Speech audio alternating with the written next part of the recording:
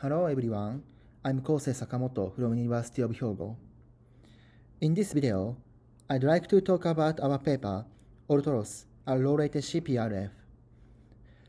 This is joint work with Subhadeep Banik, Takanori Isobe, Fukang Liu, and Kazuhiko Minematsu. Recently, lightweight cryptography get a lot of attention in the field of symmetric key cryptography. One direction of lightweight cryptography is to design low latency primitives.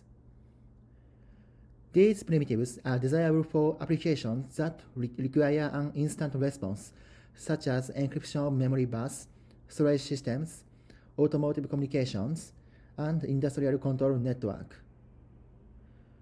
For low latency design, there are many works such as Prince, QARMA, and Mantis, to name a few.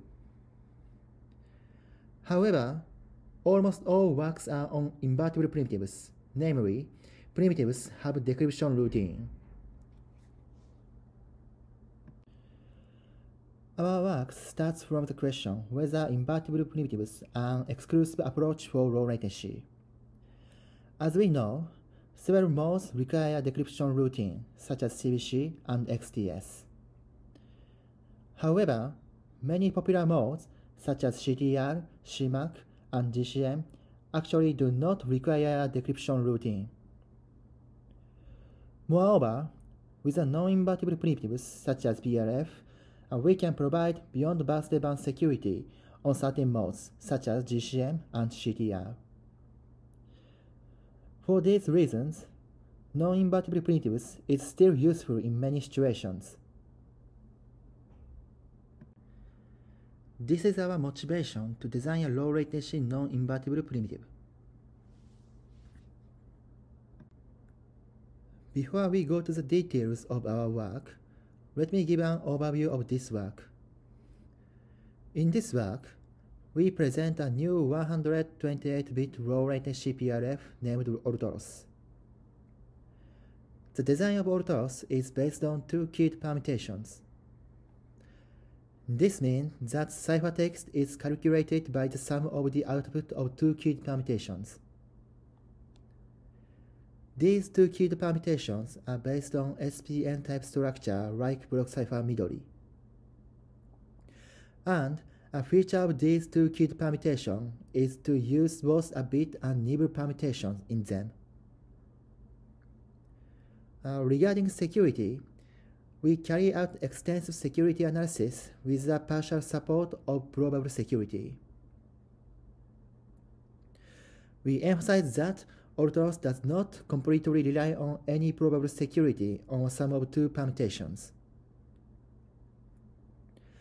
Regarding the performance, Orthros achieves a minimal latency among 128-bit block primitives targeting low latency. From this slide, I will explain the specification of Orthros. Orthros is a 128-bit PRF with a 128-bit key. As said in the previous slide, General construction is based on two SPN-based 128-bit key permutations called branch 1 and branch 2, like the figure in this slide. Therefore, ciphertext is computed by the sum of the output of two keyed permutations. A 128-bit key is shared with branch 1 and branch 2, that is, the same 128-bit key is inserted into branch 1 and branch 2. Let me show the details of branch 1 and branch 2. Both branch 1 and branch 2 are based on SPN-based 128-bit keyed permutation, including binary matrix, 4-bit S-box, and permutation. The round number is both 12. Both branches are applied bit permutation in the first four rounds, and the remaining eight rounds are applied a nibble permutation. The S-box used in branch 1 and branch 2 is here. It's optimized for the delay. The matrix used in branch 1 and branch 2 is a binary matrix which is the same as block cipher Midori. The size of the matrix entry is 4 bits. Each branch 1 and branch 2 has bit permutation and nibble permutation.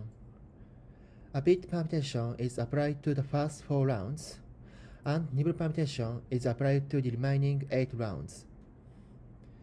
You can see specific permutations in your paper. The round constant is the fraction part of pi. This is the same as block cipher prince. Each branch has an independent key scheduling function, each of which is based on only a bit permutation. A 128-bit key is applied to bit permutation to generate each round key. From this slide, I will show the design rationale of Orthros. First, I explain a feature of our general construction from the perspective of performance and security. The advantage of performance is obvious. We can compute both branches in parallel with the fully unrolled circuit. It contributes to reducing the hole's critical path. Regarding the security, it is difficult to reduce the security of the sum of two relatively weak permutations to provable security. In other works by Dai et al., it is proved if they were strong key permutation, the sum guarantees n-bit security. This means that two key permutations have enough security margin. However, each other keyed permutation does not have enough security margin by itself in order to minimize the critical path. Therefore, we need to carefully conduct the security analysis on our design. As a start point, we conduct some initial studies with the toy cipher in terms of differential and linear behavior. And confirmed that our general construction is reasonable. We emphasize that this is just a simple exper experiment to initiate our work and the security of Orthros does not rely on this result. To show the security of Orthros, we conduct a comprehensive analysis on not only the whole design, but also branch 1 and branch 2. For key scheduling, we adapt a bit permutation-based key scheduling function to provide a stronger security level. This can be realized cost-free by wire operation in hardware. Next, we show how to construct key permutations branch 1 and branch 2. As said before, Branch 1 and Branch 2 are both based on SPN-based keyed permutation, like block cipher Midori, which means to consist of a binary matrix, permutation, and 4-bit S-box as internal operations. Regarding the binary matrix, we use the same binary matrix as Midori, which is known to have a good balance in terms of security and delay. Regarding permutation, we try to find good permutation in terms of both diffusion and the lower bound for the number of active S-boxes. Regarding the S-box, we try to find a 4-bit S-box optimized for the delay. So, our challenge is to find a good permutation and S-box. In this slide, I will explain our method to find a 4-bit S-box optimized for the delay we aim to find a small delay and lightweight 4-bit S-box. We use a well-known requirement on S-box, namely, the maximal probability of a differential is 2 to the power minus 2. The maximal absolute bias of a linear approximation is 2 to the power minus 2. And having the full diffusion property. To optimize for the delay, we employ a metric depth which is introduced by Banik et al. The important point is that we do not require the involution property, which means we can increase the number of candidates of our S-box. Here is our 4-bit S-box used in both branch 1 and branch 2. As you can see in this table, our S-box has the smallest delay among the existing 4-bit S-boxes. From this slide, I will describe how to choose permutations in branch 1 and branch 2. First, we compare bit permutation and nibble permutation from the perspective of diffusion and active S-box. To compare bit permutation and nibble permutation in terms of diffusion, we investigate the upper bound for the number of active bits after each operation. SPNB denotes the SPN-based structure with our 4-bit S-box, binary matrix, and bit permutation. SPNN denotes almost the same structure which has nibble permutation instead of bit permutation. As shown in this table, SPNB can achieve full diffusion after two rounds plus the S-box layer, while SPNN needs four rounds to achieve full diffusion.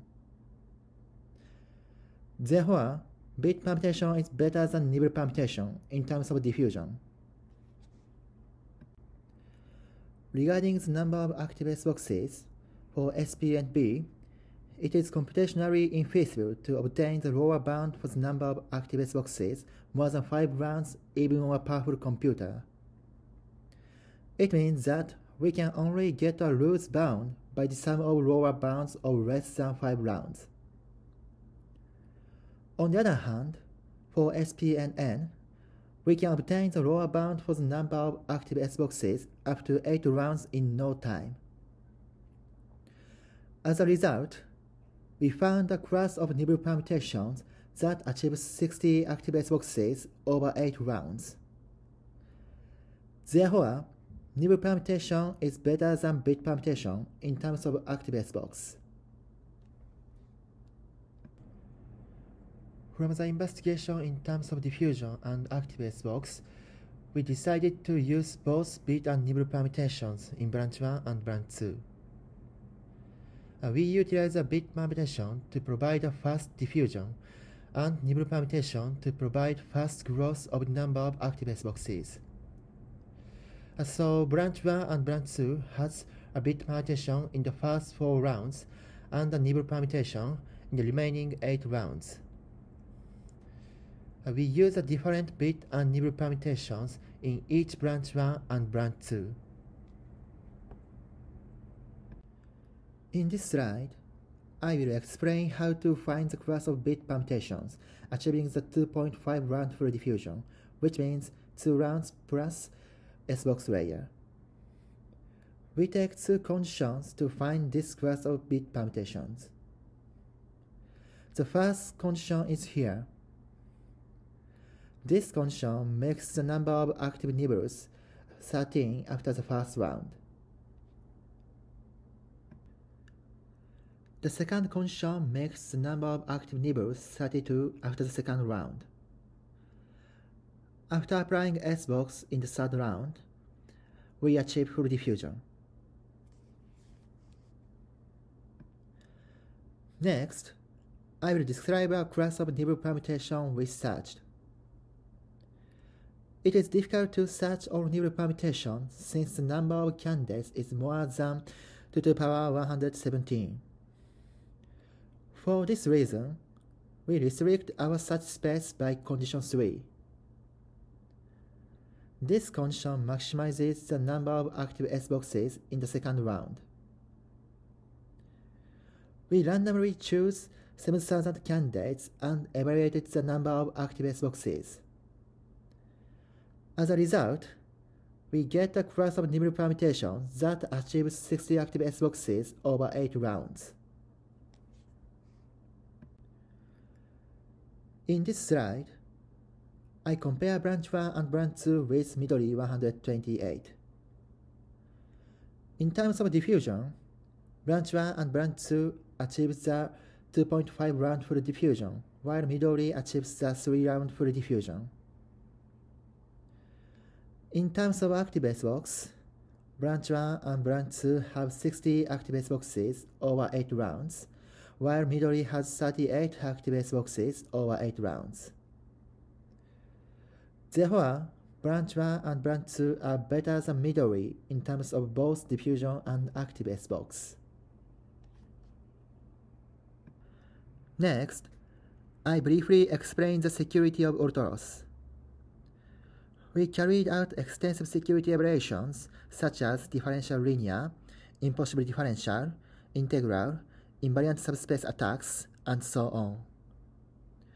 You can see details of our security evaluation in our paper.